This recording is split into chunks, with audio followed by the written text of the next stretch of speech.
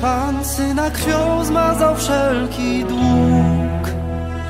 Syn z grobu żywy wstał. Panem jest Jezus, mówi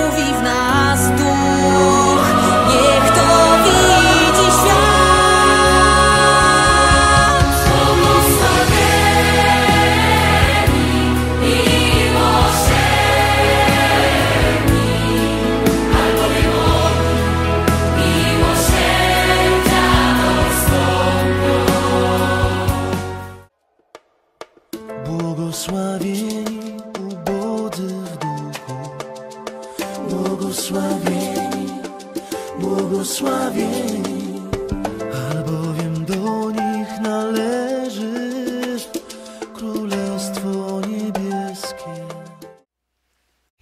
Mam na imię Ola. Podczas trwającego roku miłosierdzia młodzież z parafii Rekrut postanowiła spełnić uczynki miłosierdzia względem ciała. Tym celu organizowano różne działania charytatywne. Między innymi zebrano fundusze na przyjazd dzieci i młodzieży z Brazylii do Polski na Światowe Dni Młodzieży z księdzem Grzegorzem z naszej parafii. Jak podaje definicja, wolontariat to świadoma, bezpłatna, dobrowolna działalność podejmowana na rzecz innych, wykraczająca często poza więzy rodzinne, koleżeńskie, przyjacielskie.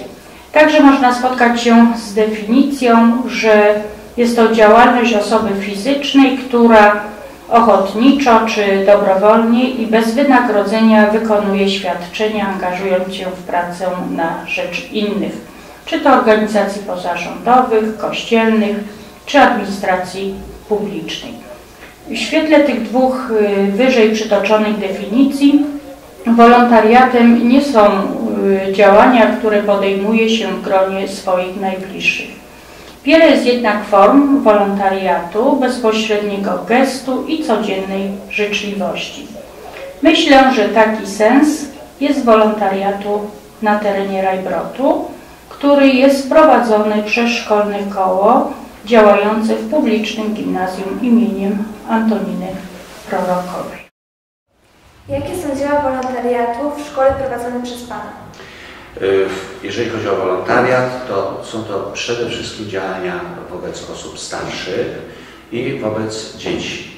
Mm, Co do dzieci, to szkoła już od kilku lat uczestniczy w takiej akcji Gimnazjaliści czytają przedszkolakom.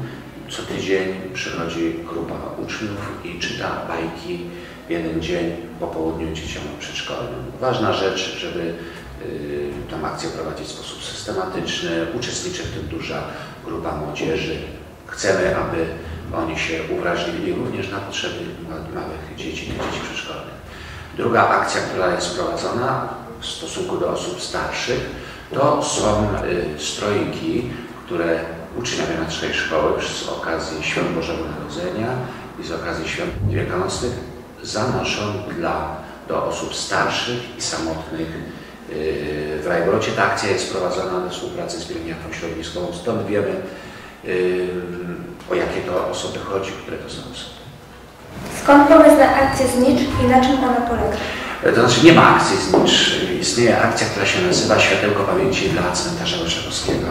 A Polega ona na tym, że przed Dniem Wszystkich Świętych zbieramy znicze, które są następnie przekazywane do Lwowa po to, aby w dniu 1 listopada one mogły rozświetlić polskie nekropolie w Lwowie.